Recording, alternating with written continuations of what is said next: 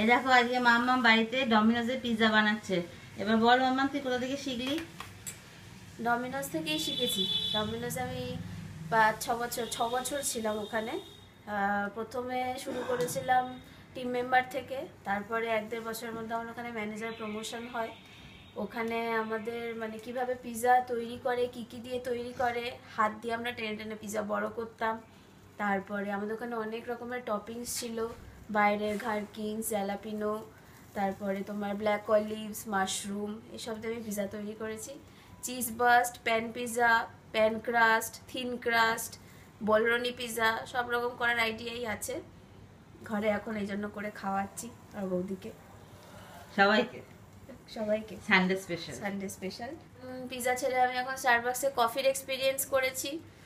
আগে পিৎজা বানানোর এক্সপিরিয়েন্স ছিল এখন কফির এক্সপিরিয়েন্স হয়েছে। কোল্ড কফি থেকে শুরু করে হট কফি তারপরে বিভিন্ন ফ্লেভারের কফি কীরকম কীরকম ফ্লেভার দিলে কফি কীরকম কীরকম ফ্লেভার আসে এগুলো সবই শিখেছি। এখন হিউজ এক্সপিরিয়েন্স হয়ে গেছে। আর যেহেতু ম্যানেজার সেই জন্য সব কাজই আমাদের করতে হয় সব কাজই শিখতে হয়। সেই জন্য অল ওভার বলতে গেলে শেফ তো বলব না কিন্তু এই ইন্ডাস্ট্রিতে বলতে গেলে আবার পাকাপোক্ত মানুষ যাকে বলে। দেখো আমাদের পিজা হচ্ছে চিজ মেল্ট হচ্ছে আওয়াজ আসছে। চিজ মেল্ট হওয়ার স্মেল দিয়েছে, দারুণ, অপূর্ব। বাকি টেস্টটা কেমন হয়েছে? বাড়ির লোক যখন খাবে, তখন কমপ্লিমেন্ট পাবো।